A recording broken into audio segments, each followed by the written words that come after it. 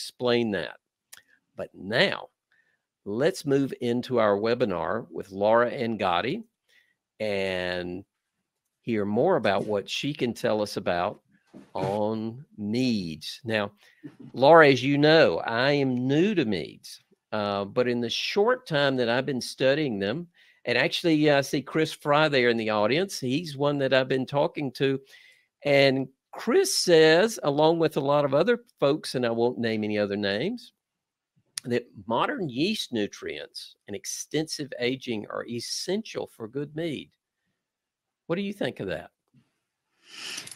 Well, first of all, I want to say that the historical record does not support the idea that any of the people in the history I study, which is before 1750, so I can't speak to after that, there's no indication that any of them thought raisins were any good as nutrients. Sorry, I don't know where that with came from, but it was after the period I study. Um, so I'm not, I'm going to have to disagree with that because there are I've had so many meads made from recipes that when you do them historically, they do not use they do not use nutrients in the way we think. There's a lot of evidence that they were using a number of procedures that would have effectively provided things that function as yeast nutrients. And we can talk about that a little bit later. But long aging, you can argue that these people didn't know what they were doing, but their goals were almost certainly exactly the same as ours. They wanted something to drink, they wanted something that was tasty, and they wanted it to have flavors that additional flavors that they liked. They wouldn't have been drinking things after a few weeks or a few months if they really thought the flavor was vastly inferior. We do see a number of recipes that say the longer you can keep them, the better, or age it seven years and longer if you can. But it's all balance. It's balance and it's art. So I think you can get fantastic meads in any number of a huge number of different ways. Without and, nutrients, mm-hmm. or, or not without, I guess, uh, the nutrients you buy from the store. There's no question that adding nutrients, I'm, I'm an engineer. I've worked in fermentation, I've worked in industrial fermentation. Nutrients make yeast happier. Happier yeast behave in a more predictable and a they produce fewer side products of metabolism. These are, in general, good ways to make your fermentation run smoothly and predictably. But they're not the only story. And, you know, and in fact, to challenge this, I'll, I'll, I'll bring up the, um, the current trend in beers, which you're probably very familiar with, of funky beers, funky fermentations. Oh, yeah. Actually, purposefully introducing things that do unpredicted, unexpected things wouldn't we call that the same when yeast are stressed and produces those byproducts of, of, of fermentation, the byproducts of metabolism? Aren't those analogous in the same ways? And yet you don't see the beer world getting all up in arms and saying, oh, these are horrible beers. So I think there's certainly, like many things having to do with brewing, there's always a huge personal preference, what you're comfortable with, what works best for you for brewing. Uh, we long known that you can give the same recipe to six different people, say, go make this, even with detailed instructions, and will you get six completely tasting different tasting brews? Of course you will. So uh, to me, it's all a balance of things that make a huge difference, things that may or may not make a huge difference, and things that are a matter of preference and taste. Okay. But that's a view from a historical brewer, not someone who's assertively modern in everything I do. So, so our our mead uh, uh-huh. to keep with our commercial calibration, uh, you yep. chose the Viking blood. So, uh, do you think this had yeast nutrients?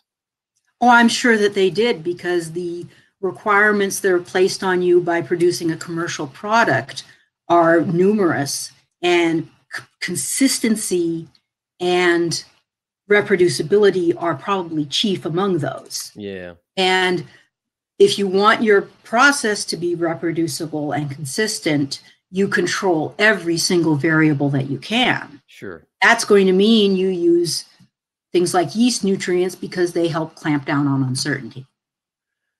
Yeah. Uh, The difference between uh, the home brewer versus the commercial.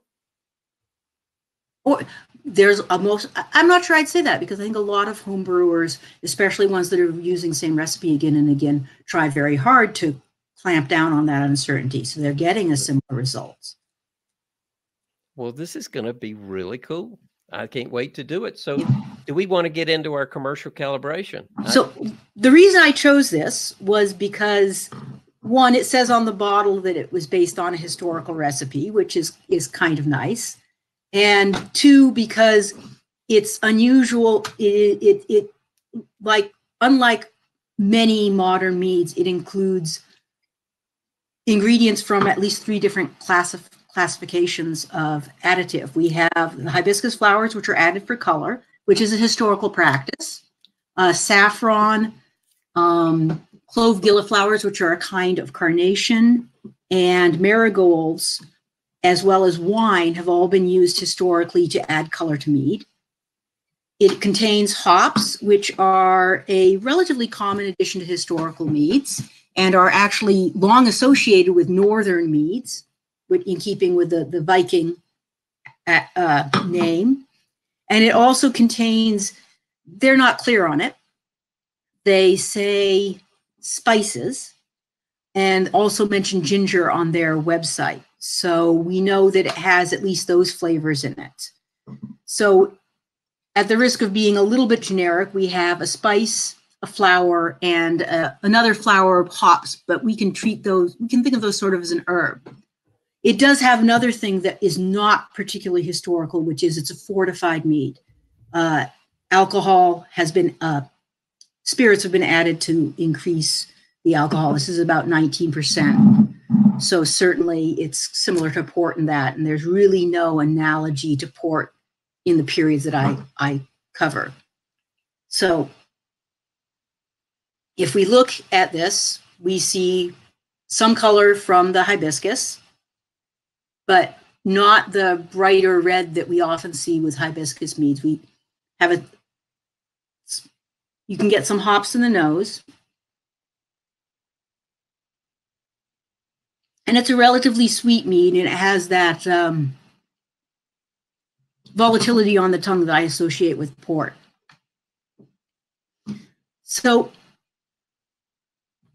not to get sidelined too much into an in-depth discussion of this mead, I was interested today looking at what it says on the back of the bottle, which becomes, to me, is actually more interesting. It talks about the appearance of mentions of mead in the 4,000-year-old uh, Indian subcontinent, Indian subcontinent Veda books, which is true. It says the recipe that this is based on is from about circa 1700. And that's certainly more than plausible in terms of hops and ginger and other spices. It's a little less likely in terms of the hibiscus flower. I haven't seen hibiscus flower mentioned in any of the meads that I've cataloged up to uh, 1750. And I suspect they are probably substituting those as a modern coloring agent for a more historical coloring agent or for some other reason. What's interesting to me is that they speak of uh, Olaus Magnus, who wrote a book called uh, History of the Northern People, uh, which they date to 1520, which is interesting because, as far as I'm aware, the book was first published in 1555. And although it does mention some events that took place in 1520, it doesn't itself, that either the text or the recipes for mead that are in it date to 1520. Um, but one of the other interesting things about the Olaus Magnus books is it mentions a mead that is made in Ethiopia and therefore is one of the early mentions of Tej, which is, um, I think most mead makers are familiar with. And and repeat that again. I'm going to change the camera back. Sure. That what was that ingredient you just mentioned? The um, Tej, which is an Ethiopian mead, is most frequently made with gesho, which is a, um, a bark, and it's a, a flavorant. Uh, that is one of the historical meads that I have not made. Actually, believe it or not, uh, mead, Ethiopian mead is mentioned in by some Greek and Roman era writers. So this makes Tej one of the really well, relatively well documented historical meads out there. We have a pretty solid history for it going back about 2,000 years. And you're pronouncing that Tej? That's how I pronounce it. Uh, I my pronunciation can be variable. I learn words from reading them. Yeah. In these texts, and I may or may not be. Uh, I, I may or may not be responsible for proper pronunciation. Well, and or I and can't I'll- be held responsible. And I'll put a little southern twang on it anyway. So So what did it what does Tej taste like? I mean, as compared to the Viking blood.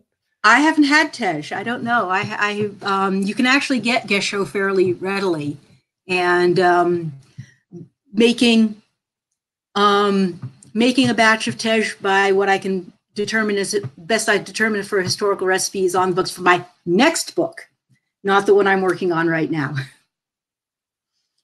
But the book I'm working on right now is a collection of 17th and 18th century meads from English household manuscripts, which were a feature of middle and upper class households in the, in that period, where they collected. You know, it's it's like you have those. Do you have those cards in your kitchen with Aunt Sadie's muffin recipe? Oh, and no. these books were exactly that in, in that period, where they would collect cooking and medical recipes, what to do. Uh, remedies against the bite of a mad dog were popular. Um, some of them were snail water was common. That one I'm not sure sounds very appealing, but a lot of these books contain recipes for meads. So I I've collected about a, a little over uh, over a hundred of them, and they're all from manuscripts held by uh, the Wellcome Library in London. And I've put them together with some historical background and a first pass at all the recipes, and I'm hoping to publish that in the next month, ready for the end of the year.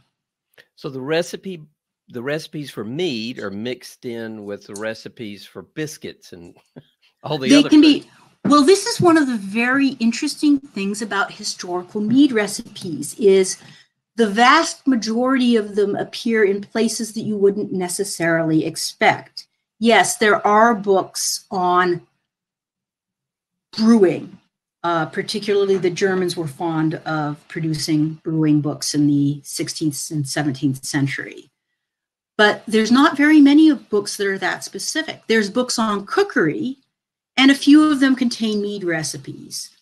We also see mead recipes in books on both. Now, this is a very interesting. We see them in books on housewifery, which is the indoors activities.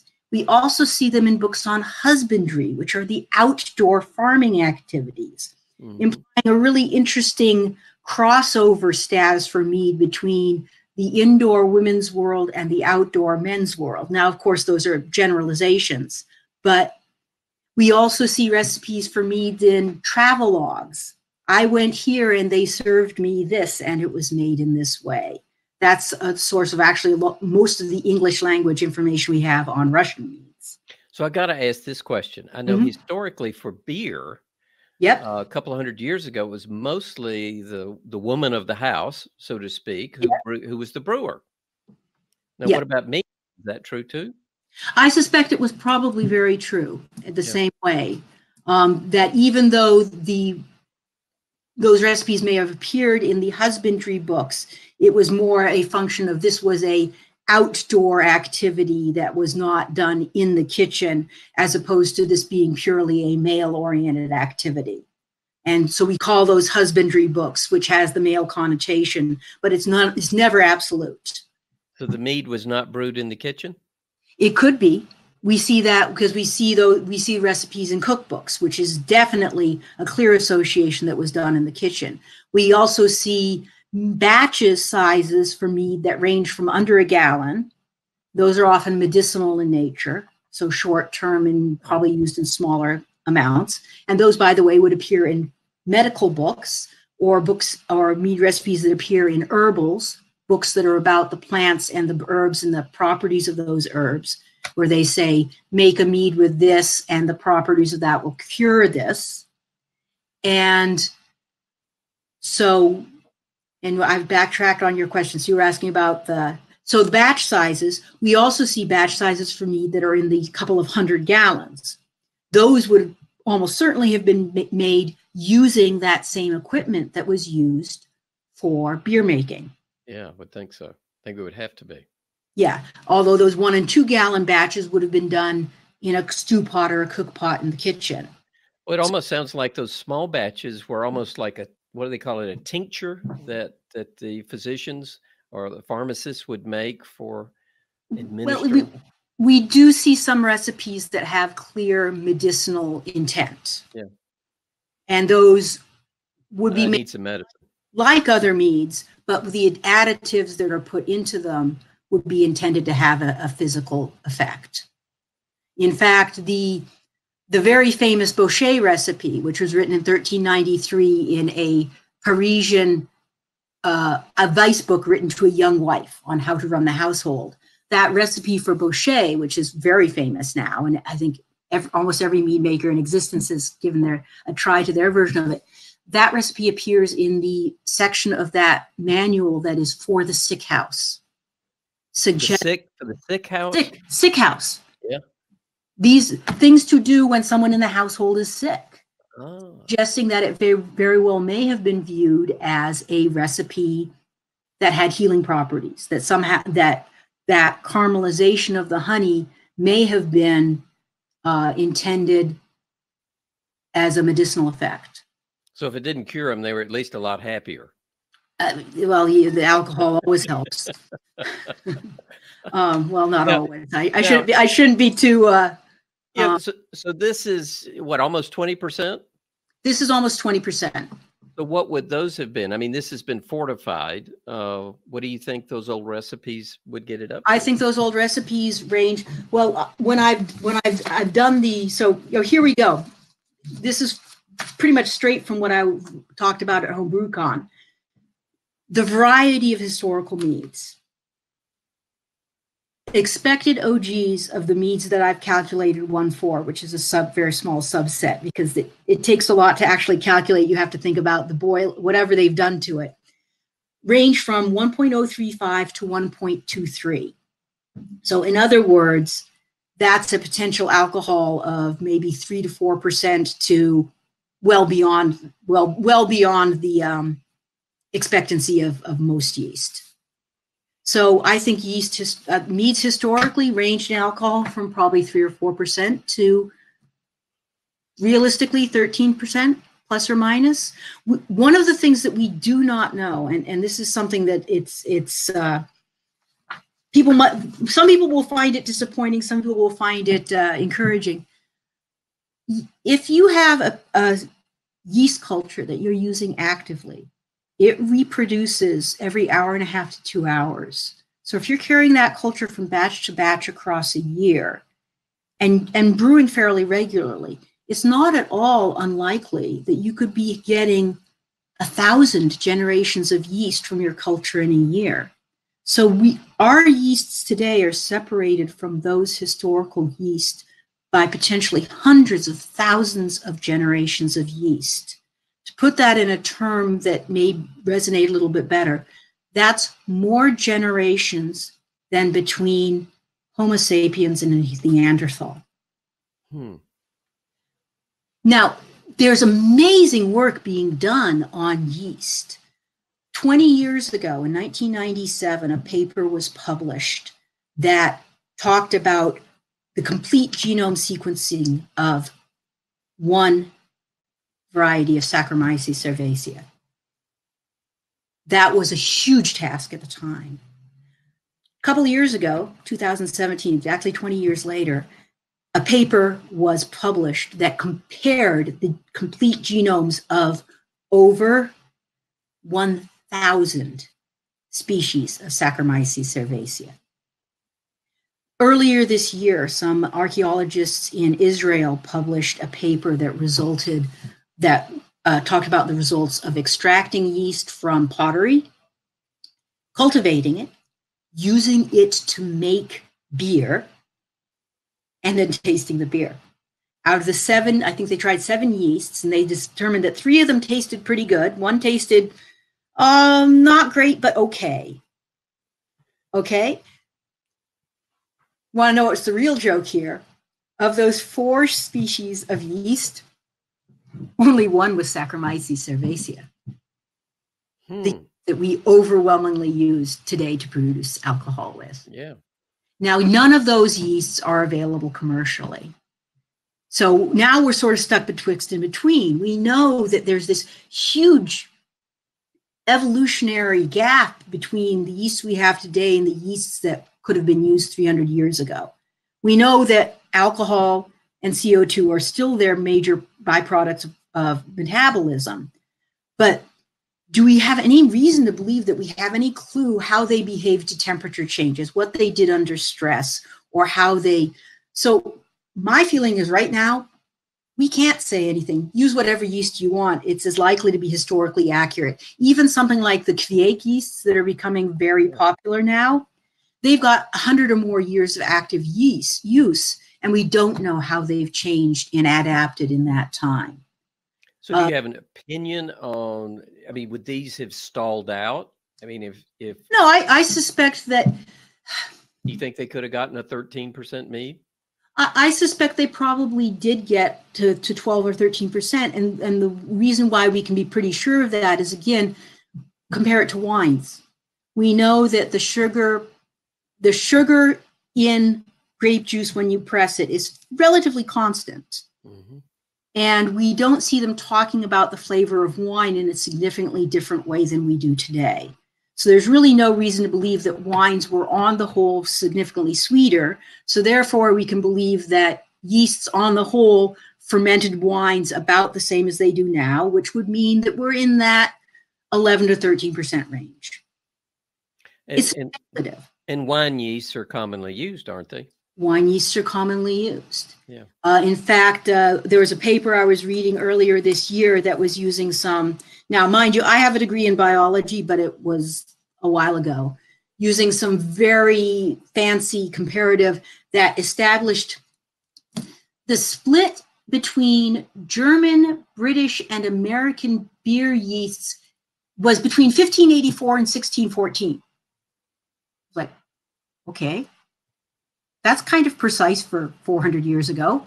Um, but this is the sort of work that's being done now. And I do believe that in four or five years, we will have someone will have gone back, found a container, extracted the yeast out of the pores into that in that clay, cultivated it, and we're go- we're going to be able to use yeasts that were 400, 500, 2,000 years old and we'll have a much better basis. But today, we're in the middle of that uh, exploration and discovery, which is pretty amazing.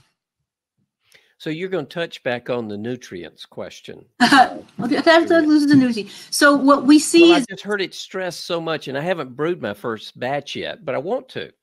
But but honey's expensive. I mean, you get pretty good investment in a batch. So honey. Honey can be very expensive, and I make make a mead from a 1700 year old recipe um, that is pomegranate juice and honey and nothing else. And yeah, by the time you make a gallon of that, you're you're you're you're in it for for for a fair amount. Um, but it's really tasty. So this is my belief as a historical brewer is that you can make really, really good mead without using yeast nutrients. Again, as I say, do they make the process more predictable, a little bit more reliable, and fewer wild cards? Yes. That said, I try to stay agnostic on it. I make my mead in the way that I make it because I have the interest in understanding what people five what people 500 years ago were tasting when they drank their mead yeah, because that is my goal i don't tend to use yeast nutrients everyone has to make their choice what are they trying to achieve what do they want to do what uncertainties are they willing to tolerate? And they make their mead in a way that suits their needs and their desires. So I don't want to, I, to a certain extent, I, I let myself get drawn into debate that I don't actually view as particularly yeah. important because the people who want to do that, people who find it important or find it important given the flavors that they're evoking, will do that because that's that's necessary for them. It almost sounds like oxygenating your wort. Uh, you know, do you want to use pure oxygen or do you want to, you know, get it other ways? Mm-hmm. It, it, you're not debating whether you have oxygen in the wort or not to to get it to ferment. It's just, you know, however you get there. So the yeah. sounds like the nutrients is very much the same. In in my opinion, in my opinion, and and yeah. I would be far from telling anyone that they that they should make mead exactly the way I do. But I hear yours is quite good, and, and... I hope it is. well, we see a couple of comments in there. Chris oh. says, "I agree with Laura. If you want to make a historical mead, then the nutrients are out. Heck, if you want to make a historical beer, that's one's thumbs instead of a thermometer." Go, Chris.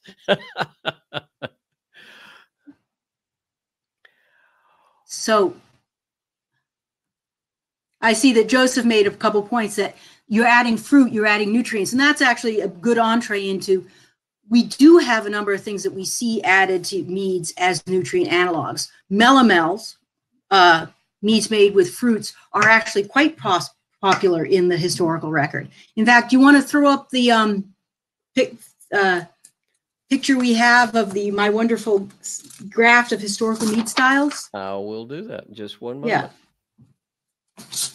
You keep talking while I pull it up here. So so this this this chart is a little bit, as I said earlier, a little bit of uh, arrogance in some way because it summarizes over a great number of years, a great number of geographies, and a great number of recipes to make some generalizations. But the core generalization to be made here is that meads were very varied. There were trends over time, and we see things change as a result of other things that are going on in history. And when you're looking at historical meads, being able to view them in the light of what else was going on in history actually does become important because nothing exists in a vacuum. Uh, I, I call it the interconnectivity of all things. And I apologize when I made this bigger, I accidentally um, disconnected my trend lines from my my figure and did not notice it when I send it. But we can see here, I've looked, I'm looking at three, four different time, rough time periods in this, this chart. In each of the sets of colors, the first is recipes that date from before 1600 AD. The second line is recipes from 1600 to 1669. The third line is um, recipes from Sir Kenelm Digby's The Closet Open, which I think most people are familiar with. It was published in 1669 and remains, as far as I'm aware, to this day, the largest collection of mead recipes ever published. And then the fourth line, which is the darkest in each color, is uh, recipes that date from 1670 to 1750. So what we see here is that for plain meads, the first category, we see fewer recipes for them over time. This might be a reflection of the fact that those earlier recipes are a lot of repetition of Roman and Greek era recipes which appear multiple times. Uh, these lines do include duplicates, recipes that are entered into my catalog more than once. We see a decrease in melomels over time, although it appears to increase at the very end there, which is a false increase because that, that line includes um, meads that includes a cu couple of new ingredients as, a, as opposed to um, the decrease in old style melomels. And what we happened there is that in the 17th century, sugar became a very, very inexpensive commodity. And as a result, we saw fruit meads turning into fruit wines made with sugar as the additional sweetener rather than honey. Lemon, although citrus was around in culinary use for thousands of years, the first solid recipe I have that uses lemon in a mead is after 1600. And then it explodes onto, onto into use in meads. Uh, it's a lot of it's lemon peel. I but it may still have some uh, connection to this is something that requires some more search whether there's a acidification issue there as well. You can see that use of spices, herbs, and both herbs and spices does increase over time in meads. So these styles show that within history, things changed over time, unsurprisingly. And if we were to make similar charts based on geographies, we would see some very um, significant, we would see some very significant differences between geographies in what types of meads were most popular. So, Laura, why the popularity of the spice? Were they less expensive? I mean, you'd mentioned the expense of the melomel and the fruit and then the honey. I think that they were a little bit less expensive, but mead was always, honey has always been a high class ingredient. We see it reflected in the use of honey as a tithing uh, in across the Middle Ages. We see it in the um, association of with both and also to the church. Honey was a valued commodity. It was also always a limited supply. You can't grow more honey. You can grow more barley. You can grow more grapes, but you can't just say you, you to a certain extent you can't just say acreage produced more honey. It does you can't it doesn't work that way. So honey has always have had a high perceived value. Mm-hmm. Saying that the spices in particular have had a high perceived value. So use of those two high perceived value items together is probably not surprising at all. The use of herbs in mead is much more of a medical um, process in a lot of cases although that's not absolutely true. Certainly, uh, the most used herb in honey in meads is rosemary, and rosemary was not a herb that has a lot of medical. Uh,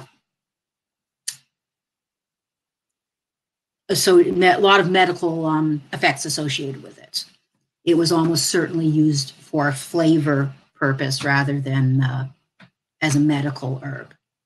And by the way, rosemary is an awesome addition to mead. The the piney and the slightly uh, biting side of it is really tasty, uh, in my opinion. Actually, lemon and rosemary, awesome mead. I've made a uh, 1660 recipe a couple of times. Wonderful flavor. And the scale, you, you've got four bars Yep. How many centuries are we covering in those four bars? Well, the first bar covers about 15 centuries. The second bar covers two thirds of a century. The third bar covers one book. And the fourth bar covers about three quarters of a century. So, as I said, we're drawing generalities here in a way that is from a, if any if anyone who's listening does statistics, they're probably uh, you know biting their tongue and trying to avoid saying something nasty about misuse of statistics. Um, and I acknowledge that freely because this isn't meant to be a absolute. This is meant to show some trends and to serve as a way to discuss how things, how what mead looked like and how it might have changed over time. So when we talk about uh, those add, you know, so why don't we move on to talking about all those things that we add to mead? Because speaking of plain mead historically is a little less exciting than it is in the modern day. In the modern day, when we speak of plain mead, we almost always talk about those varietal honeys that lend very specific flavors and intensities to mead. And the concept of varietal honey is a very modern one because historical beekeeping required destruction of the hive to collect honey. Therefore, those short term, those varietal honeybees, which have to be collected within a fair approximation of when that blooming season is, is really only possible with the hives we have today, where you can do immediate collection or partial collection without uh, really disturbing the hives, hive significantly. So historical honey is essentially wildflower honey. And those honeys would have varied significantly spring, fall, forest, field, English versus German versus France versus Russia. So my my usually use a, raw wildflower honey, and I take whatever I get when I go up to my apiary, and I get my bucket of honey, and sometimes I get a very nice light uh, honey that doesn't crystallize readily, and I think I got one last year was very dark and already crystallized when I got it. And for me, again, my goal is trying to figure out what this historical flavor might have been like. And that variance in the honey is to me all part and parcel of, of the fun of figuring things out, um, which may not be as happy a uh, conclusion for some some of the modern mead makers. So but when we you're not about, picking up your honey at Costco. Uh, I've been known to. Um, but no, I I'm very lucky that the uh, what is it? Wednesdays and Saturdays, like two or three hours a day, I can bop up the road ten miles and give them a check, and they hand me a bucket of honey. And if I'm really lucky, they put it in my car for me, which I can do myself, but I'm certainly not going to object when someone else wants to do it for me. But it does make a difference, is what I know. I took a class from Chris Fry. Matter of fact, I mm-hmm. recorded it for anybody that's interested. Uh, it's it's in the set of videos that we have here. Um, but he really stressed. I mean, you needed to get your honey from a, an apiary, and and one you could trust. Mm-hmm. And you see that difference too. I, you know, I I I do feel like it's it's it's like many many things in the world the more something gets processed well they're processing it for a reason which means they're almost certainly trying to control it and that usually means taking out everything they don't want so yes in general something that's closer to the source is probably going to be a better bet I know Michael Fairbrother said in his webinar that he got his from, I believe it's Brazil. He's gotten his from a number of, of different places. I think he's gotten some from Africa, some from Brazil. Yeah. Um, he's he's done some meads with uh, some organic honeys. Um, I, I, haven't tasted I haven't tasted as many of their uh, plain honey meads as I. Yeah, you can see I've. What is what does my glass say? There you go. Oh, moonlight. you got one of their glasses. Mine, mine I've got several of their glasses. Mine, mine actually says New Belgium, but I like it. New Belgium Brewery? Yeah. Yeah. Oh, their 1554 is one of my favorite beers ever. It's my wife's favorite and it's uh. the homebrew. I have a I have a recipe. We we digress, but I, no, I, I, I, have a homebrew uh, clone of 1554 they helped me with, and that's her favorite. So, uh-huh. anyway, uh, yeah, we love New Belgium. They're just right up the road and and right in uh, Chris Chris Fry's backyard. Uh huh. Yeah, we they, unfortunately they don't seem to ever ever uh, really bottle uh, can that now, right? They're almost exclusively cans now, aren't they? I've got about two six packs in the fridge, so I've I've never seen it in a can. But uh, I, well, it I, doesn't make it as far as us. It must not. Uh, I'm horribly disappointed. well, we'll work on that. Maybe we can get them on a webinar to talk about 1550. Sure. but back to me. See, gone far afield multiple times. Yes, from, we have. And uh, and speaking of that, Laura, I like to uh, wrap up the main part of the content yeah. by the top of the hour so we can go to questions. Sure. And I want to encourage everybody. It looks like we've got three questions so far. Yeah. And Laura Okay. will try and have- answer all of them. And I know at HomebrewCon, we you got cut off, didn't you? You didn't get to answer all the questions for people. So I, I know I answered a few questions, but uh, you know, question and answer is my favorite. Unfortunately, this whole history, you know, as I said, I've got 2,500 recipes in my catalog. We're covering 17 centuries, pretty much all of Europe, with excursions into Asia and Africa and um, a few other places. This is an enormous topic, and I, I'm starting. I'm starting with trying to talk to you about some of this general stuff because one of the things that's really exciting me about this topic is it's not very well explored, and there's a lot of information. You know, you, if you if you go to Google and you type uh, medieval mead recipe, most of what you're going to get is is gobbledygook and all things like saying, "Oh, I found this great medieval recipe in Digby," and Digby is a perfectly good historical source, but there's no one with much historical knowledge who's going to give much credence to 1669 being medieval. It, that's a miss by about 300 years, which looking back from 350 years, 400, almost 400 years later, might seem like not much, but historically it's huge. So I have Ken Schramm's book, but if I wanted to try a, you know, an ancient mead recipe like you have, where would I find it then? The book I'm going to be writing. Uh, uh, you can you can go to my website. I actually have a number of recipes on my website that are from much earlier. A good one. you- So talk about this, which has hops in it. One of the very first historical recipes that I, my husband and I actually we weren't married yet, but that's okay. We are now. A which put together and made is a recipe from a German cookbook of about 1350 called Das Buch von guter Speise, which has in it a recipe. Um, I think it, the title is Ein guten Mais- Methmach, which means to make a good mead. And that recipe is fairly sweet and it includes hops and sage.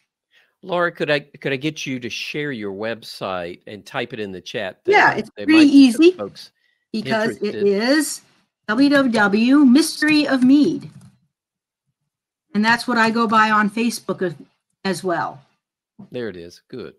yeah So, um, schmooze more on facebook and post serious things on on the website so the recipes there. If I want to to try yep one, the uh, recipe for um the recipes uh, all four of the recipes that i served at uh, homebrewcon are actually on the website now and those were for people who weren't there uh, the first meat i served was meant to be a challenge to all things modern mead making and it was a mead to which i had pitched the yeast six days before and the yeast that was pitched in was a 25 a 25% addition of a actively prevent fermenting ale wort. Okay. um yep and it sat and i to- toddled it down to providence in a bottling bucket and they served it out of the bottling bucket. And it was still fizzing away. Um and i was actually very pleased with it because it was fizzing it was actively fermenting it was cloudy as all heck because it was still completely every bit of yeast was completely mixed up in it. And um this is where i say so you no nutrients but and it was would people have said this is anything like any mead they'd ever drunk? No. So the second one i served was an example um, that was suppose a spiced mead which is a very interesting recipe that the first appearance is in a 1570 book that was published it's a herbal that was published in england but by a couple of dutchmen and that recipe I've now traced the most the latest appearance I have of that specific recipe with changes, it keeps changing, is almost 250 years later. And it appears here and there. It appears in Germany, in France, in England, It appears in a book of alchemy. It appears in a book on husbandry. It appears in books on beekeeping, and it changes little bits and pieces here and there. I, want to go back to that first one. Gary Fuller says, I am still amazed at how much I liked that first one. So, so it was six days old. I mean, it had been fermenting for six days, zero to six been- days. So, so the the ale must, which was a real cheap, um, I I did it really easy. I took Yeah. dried malt extract, mixed it up to an OG of about an ale, added in the yeast. That fermented for three days, and then it was added in as to be twenty percent of the final of a honey and water mixture, and that sat, and that is taken made as close as I can to a recipe from the 14th century. So again, about 1350. So both of those, so that recipe is close to 700 years old. So any hot al- alcohol in it? I mean, was it? Um, I know I didn't find it hot alcohol. It went from, let's see, I'm going to have to remember. Actually, I'm, I'm going to pull up my spreadsheet because my spreadsheet Yeah. While you're looking, I'll. Uh, I Gary have a Fuller said- spreadsheet for that. Gary So Fuller said it was clean, malty, sweet, and no yeast bite. So he might have answered my question. That sounds like it was pretty clean. when when I put it when I put it in the uh, bottling bucket to take it down, about 36 hours before it was served, well, maybe 30 hours before it was served, it had gone from about 1.09 to about 1.03. And when I tasted it as it was served, it had lost some additional residual sweetness. Yep. My guess it was probably at about 1.02, which would have been roughly 12% alcohol. Any It- diacetyl? No diacetyl. I don't think so. I mean, one of the things that you get is is with that type of brew, that that quick mead, as they would have called it, you get a real yeast yeast mouth, okay. and that r- will hide a number of the um the, those subtleties. Yeah. yeah so those those smaller um aromatic and com- uh, complex compounds to my mind but here i get a no no we get a nope on the diacetyls Yeah. well, we, we just finished a webinar on it Tuesday, so I just had to ask. so the second one i served was a spiced mead which had grains of paradise and long pepper in it two spices that are not that hard to come by and i highly recommend for any mead maker to learn them long pepper has the bite of pepper with a strong aromatic overlay it's I've never seen long pepper. What does it look like? If I'm going to. um rat turds Oh, I want some of those. sorry about this long and black like pepper and yeah anyway you will notice that i have very little respect for uh, propriety um, It's very colorful. I, I knew exactly what you meant. I know now what to look for. it's it's very tasty it's piper longum it's it's easy to find and uh grains of paradise are also not not particularly difficult to find Yeah. um, although they really need to be crushed before you use them they're these little hard um, seeds that if you don't crush them you're not going to get much paper out, uh, flavor out of them so the third one i served was i'm trying to remember uh, Yeah, they must have all been good because nobody has said anything negative about them so far. Oh, that the third one I served was that one I was talking about, rosemary and lemon. It's a 1660 recipe, which I'm going to have to make that recipe again because the first time I made it, it ended up a little bit too sweet. And this time I tried to make it just a little bit less sweet, and the flavors shifted completely. So I haven't quite figured out exactly. Shifted to what? I mean, it sounds like a nice combination. It's a wonderful combination. Uh, this time I made it, the lemon, I didn't get the acid bite from the lemon that I was looking for. Oh, to rosemary. Not too rosemary, but the rosemary and the lemon were well balanced. Okay. Um, so who knows what happened? It's you know, I think you have sometimes have to make a recipe at least a you know a half a dozen or a dozen times to really understand the the factors that go into it. And well, Laura, it's the top of the hour. Oh, uh, are you I'm ready done. to jump in some questions? sure. All right. Uh, so, so those of you that it's the first time, uh, the question is in the ask a question button. You type them in, and I will read them to Laura. And uh, if you've got to run, I really understand that. I know you know people only allocate maybe an hour for these.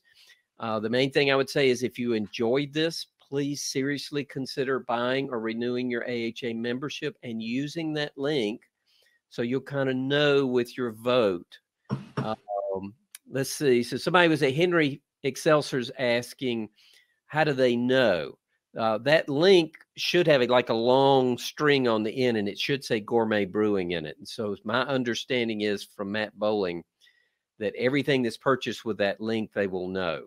Uh, if you're worried about it, I've got Matt's email address, and you can mail him. so, um, back to the questions. Um, so we've got three so far. Get yours in. If you don't have a question, but you see one you really want asked first, and I see somebody has already voted for those, you can vote. So we will continue to uh, get Laura to answer these as long as they keep coming in. So, Laura, the first question, which is the most popular, and that was from Michael. And Michael asks, what commercial meaderies are making the best traditional or ancient meads? That's an interesting question. Um, my experience of commercial meaderies is less wide than I would like it to be. The the answer is to a certain extent, most meter meaderies that are making melomels and spiced meads are probably making something that has some pretty good historical antecedents. Because, again, the point I tried to make earlier is that these historical recipes show a variety that, that's that's enormous. And the use of spices in particular was very prevalent. And the, that spice list is, for the most part, very similar to the spices we use today. You know, the most the most common, you know, when we look at the top 20 ingredients of historical meads, the top five are ginger, cloves, cinnamon, rosemary, and nutmeg. Four or, five, four or five of those are spices nutmeg, cinnamon, ginger, and cloves um, very typical mead ingredients. The so are you saying almost all meads have ancient roots? Yes. So what what would make a mead uh, not ancient? Maybe that's another way to ask the question. Like we've got this Viking blood, you know, that makes it sound very ancient. So use, uh, using ingredients that were not available to our our mead makers of 300 years ago.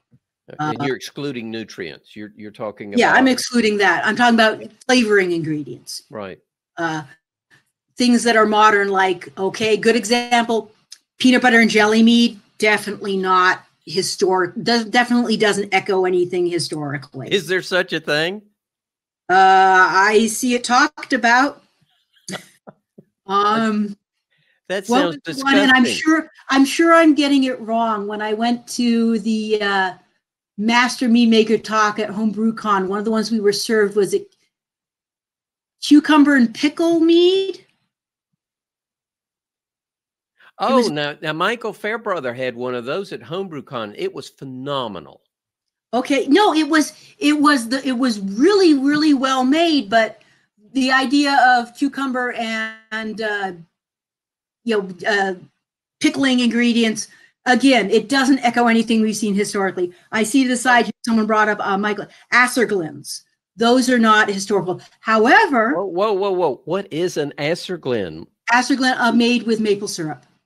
However there is an entire class of meads that appear in starting in about 1660 in england um, a series of recipes mostly related that use birch sap as the water source. So it's birch sap and honey, and usually spices and sometimes lemon. And those birch sap meads appear for the next couple hundred years in mostly in British sources. Did you say British? Your your your audio dropped out for just a moment. British, yes, yes. Okay. Although there is a there is evidence that birch sap as a fermented drink goes back to the 10th century I have never heard of. by one of the. Arab travelers in the 10th century. I mean, did they get that the same way they do maple? And Yes, it's it's, it's actually collected exactly the same way in Pulsar. You drill into the tree, you get the sap out when it starts running in March, and it's actually still pretty widely used in the Baltic countries as a early spring drink. And it is available. I've I've actually looked, and it looks like I, I can get it uh, with a with an application of more money than I'd like. And I will I'll be doing that sometime soon because I really want to see what birch sap mead tastes like. yeah, I, I wonder what it tastes like. Period. I mean, just birch sap just doesn't have a whole lot of a a stellar appeal from the sounds of it. Well, it, it's it's it's like maple sap. It comes. It's actually a little less sugared than maple sap. I think it's about one percent sugar to start with, so that Uh, with honey and get the the flavor of the honey added to it. okay. Um, yeah, and Michael says maybe a substitute for maple sap is the birch sap. Yeah. Okay.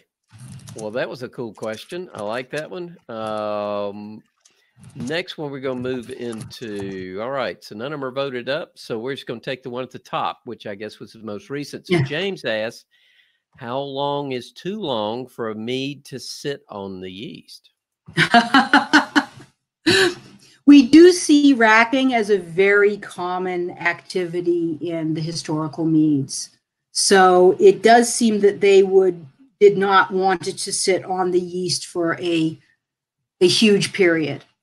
Um, and I think that's one of those. I, think that's one of those larger brewing questions that I'll just defer because certainly there are those who are very much in favor of the sur lie aging as a way to add different kinds of flavors. And then, of course, you get the flavors from the autoly- autolysis of, of the yeast. All right. Sur lie aging. I'm not familiar with that.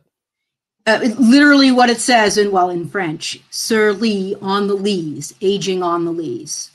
Rather than racking it off of the yeast that settles, settles, you leave it on there for aging. So uh, we're talking years. I'm I honestly I'm not entirely sure. I'm it's not it's a fairly modern practice. Again, I follow the instructions that are in whatever recipe I'm doing. So there are there are gaps in my knowledge. I'm Um, sorry. I'll ask questions till it hurts sometimes. no, it's it's it's it's the infant. Truly, I have no shame in because I know a lot about a lot of things, but this is a huge universe of knowledge. Well, why don't we go to just your experience? So James is asking how long is too long? How long do you think is too long? I I typically I typically don't see recipes that leave things on the lees for much more than a you know two a couple of months, maybe three to six months at the most. Most of the recipes call for pulling it off after a period of months, not a period of years. Um, Wow, and no autolysis in six months? you're probably getting some, Yeah. but it's not enough to add a majority. And this is and this is something that we probably could get into a long philosophical debate about. Remember, when we looked at those charts that showed 10 to 15% of historical recipes are plain meads. And all of these things we're talking about side flavors from stressed yeast, flavor addition from autolysis, these sorts of things are all going to become less detectable Yeah. the more flavor you have in the mead. Okay. So if you got black currants in that baby, you, you're You're- just, you're gonna be You're not going to notice a lot if you have. I, I've I've seen some recipes that'll call for putting in 40 cloves into two gallons and letting it sit for a month. And all I can think is, whoa, I'm not likely to be interested in making that one. Um, we used to say wave a clove at it. Now you're done. Well, well, speaking of black currants, my very first meat ever was served to me by Brad Smith uh, and